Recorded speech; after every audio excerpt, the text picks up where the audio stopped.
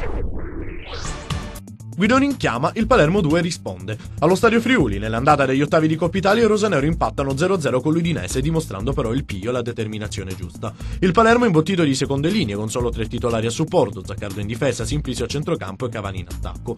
Partono subito forte i rosanero, che al decimo sfiorano il vantaggio con Cavani, lo stesso uruguaiano, qualche minuto dopo, salva la porta dei Yardi respingendo sulla linea un colpo di testa di Zapotocni. L'azione più pericolosa però è ancora di marca rosanero. Al 35esimo Jankovic raccoglie un lancio in verticale di Simplicio si coordina molto bene e con un potente destro di prima intenzione centra in pieno la traversa.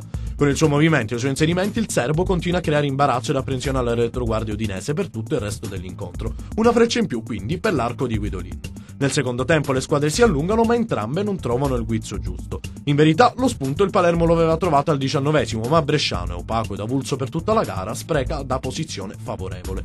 Per Guidolin si tratta del primo pareggio della sua terza gestione dopo la sconfitta di Catania e le vittorie con Fiorentina ed Atalanta. Per Udinese e Palermo appuntamento al 16 gennaio per la gara di ritorno.